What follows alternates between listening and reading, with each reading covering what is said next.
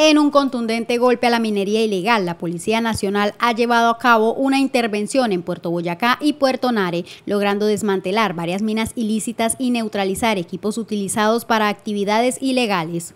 En total intervinieron 10 minas ilegales que representaban una amenaza tanto para la seguridad de la región como para el medio ambiente, estas minas que operaban al margen de la ley han sido clausuradas y puestas fuera de funcionamiento. Además, una retroexcavadora utilizada en estas actividades ilegales ha sido inhabilitada por las autoridades, impidiendo su uso para futuras operaciones mineras ilícitas. El Departamento de Policía del Magdalena Medio, en acciones contundentes contra la minería ilegal en los municipios de Puerto Boyacá y Puerto Nare, vimos como resultados la acción sobre 10 sectores en los cuales en uno de ellos se inhabilitó una maquinaria amarilla. Se, destruyeron seis dragas y seis motobombas.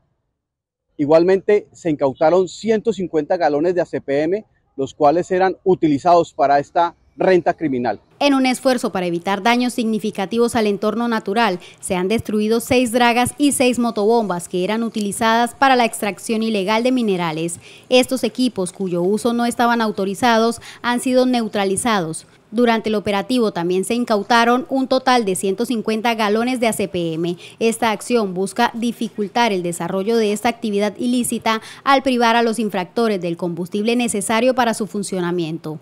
Con esto estamos dejando de sacar a servicio 500 millones de pesos, los cuales se beneficiaban estos actores criminales en estos dos municipios.